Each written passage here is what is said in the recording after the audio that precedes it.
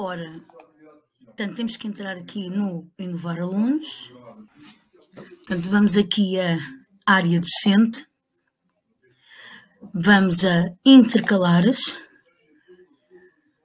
Depois temos que vir aqui, uh, temos que clicar em avaliação de domínios e paramos, portanto temos aqui síntese disciplinas, mas eu penso que para as atividades não, não, não, não sei se será por aqui, mas temos que ir aqui à avaliação de domínios e parâmetros, temos que escolher aqui a disciplina, neste caso eh, podemos escolher, por exemplo, atividade física e desportiva, e podemos também aqui escolher o ano de escolaridade, aqui, terceiro ano, uh, terceiro ano de QC3A, portanto neste caso só me aparece uma turma, mas quem tem mais turmas aparecerá mais turmas, portanto vão selecionando aqui, e aqui, e depois clicam em cima do lapinhos de cada aluno, de cada turma, escrevem a avaliação e, e depois gravam aqui. Eu não vou gravar, mas gravam e automaticamente fica logo gravado. Eu clico na cruz porque não quero gravar.